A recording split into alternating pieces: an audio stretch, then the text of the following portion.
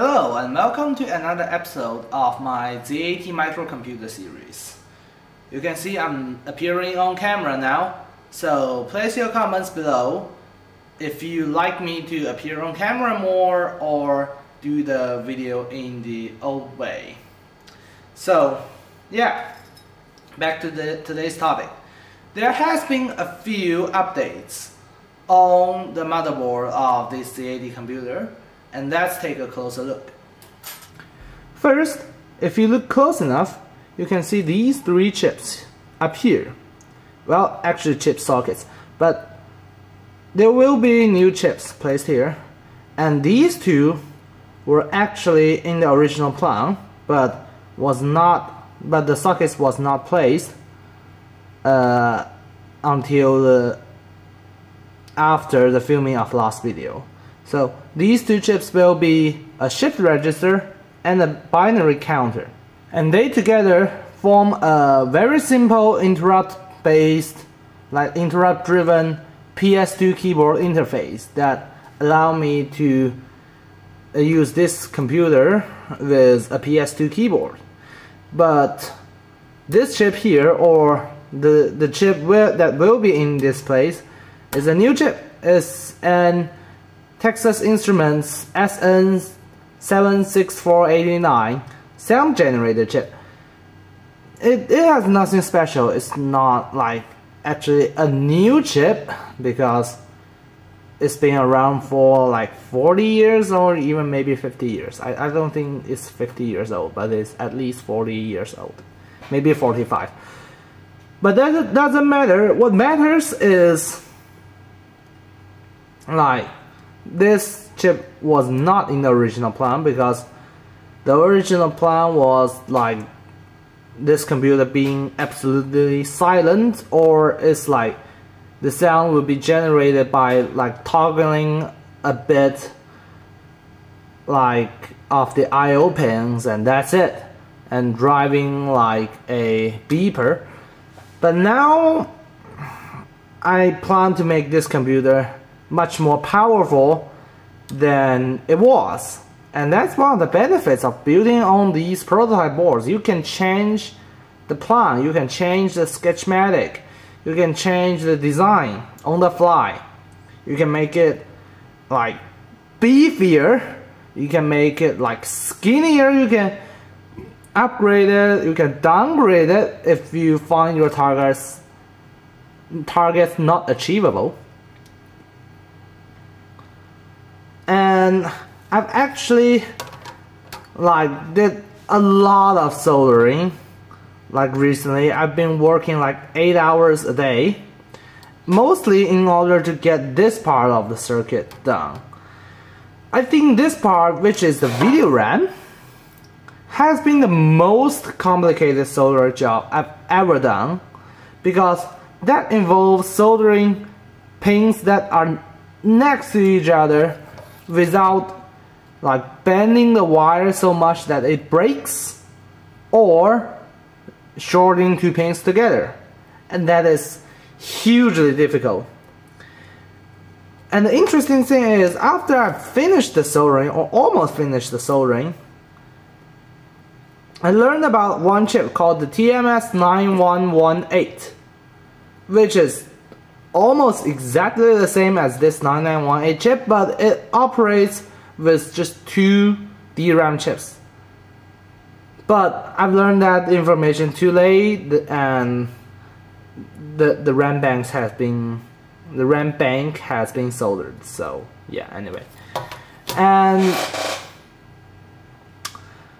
uh, this part of the board is actually finished is where the magic happens. Actually what gives the, this computer its unique features and its unique capabilities.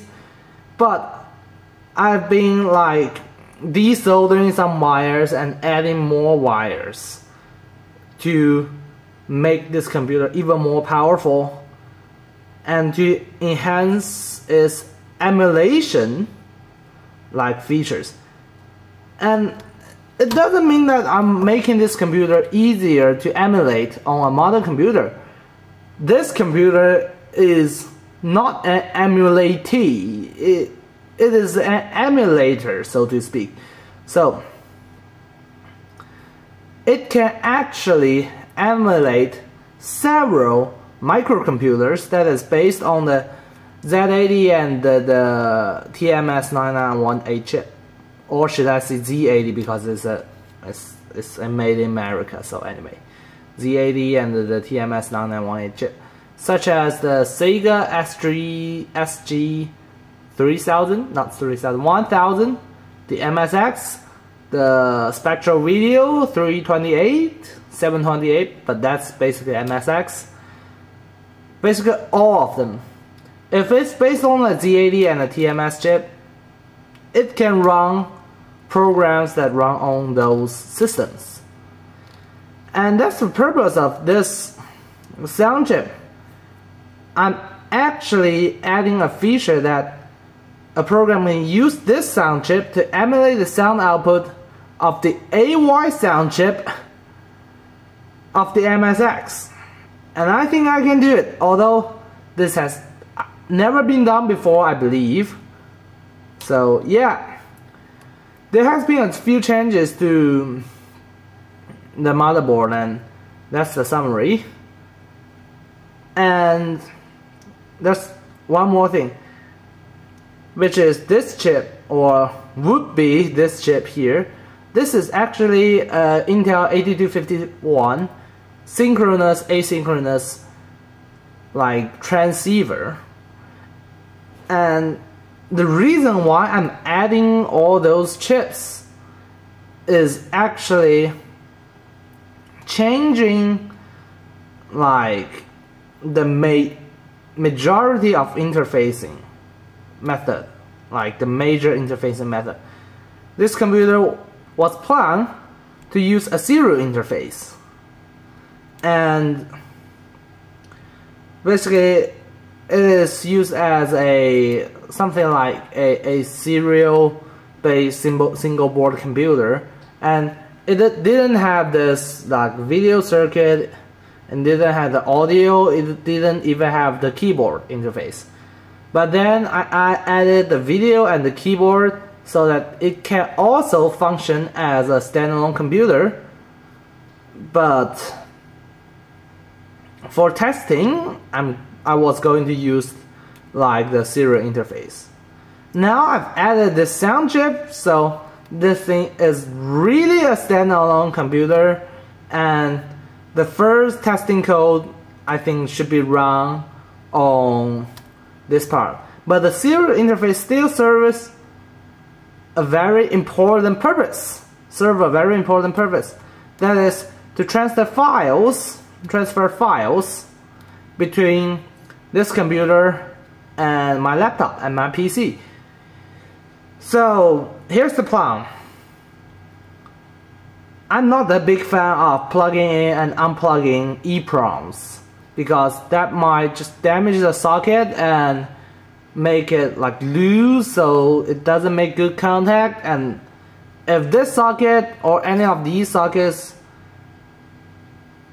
doesn't make good contact this this board is done this board is basically done so what I intend to do is that I'm adding a feature that so that this computer can flash in its own firmware using this serial link. And it can also it can also load ROM images for those different systems so now here's the plan for this. And in order to do that in order to add these features I'm actually adding the wires here so that it would take me much longer than I anticipated to finish this board because I mean, as I said, the best way to do prototype board soldering is that you work from one way to another, uh, one side to another. And if you want to solder add a wire to a place where you have been doing a lot of work or a lot of work have done or even worse a lot of wires have covered that place you need to painstakingly desolder those wires, basically undo your work, add those wires, and then redo your work.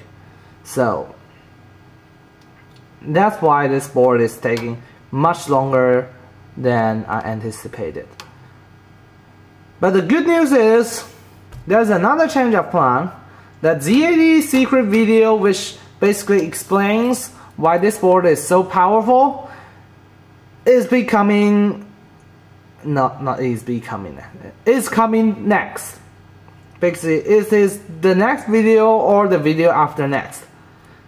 I make this promise here. I'm not waiting until this board is finished because it is not taking forever but it's going to take a very long time. And I don't want to lose any subscribers. I just got my first comment and my second comment and my like the first Z80 videos has got more than 10 views which really surprises me. Uh, well, yeah. And that's my response. Z80 video coming up.